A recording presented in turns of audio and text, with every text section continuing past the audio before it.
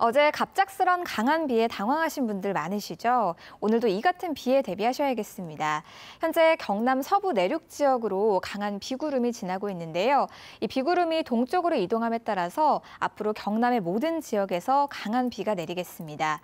비는 오늘 밤까지 이어지다 그칠 걸로 예상되는데요. 시간당 30mm 이상의 집중 호우와 함께 최고 80mm, 내륙 많은 곳은 120mm가 넘게 쏟아지기도 하겠습니다. 벼락과 돌풍도 동반되겠고요. 해안 지역은 강한 바람까지 동반돼 피해 없도록 대비 잘하셔야겠습니다. 오늘 장마전선은 남부지방에 많은 비를 뿌리다가 남쪽으로 이동하면서 점차 약화되겠습니다. 비가 내리면서 더위는 잠시 주춤합니다.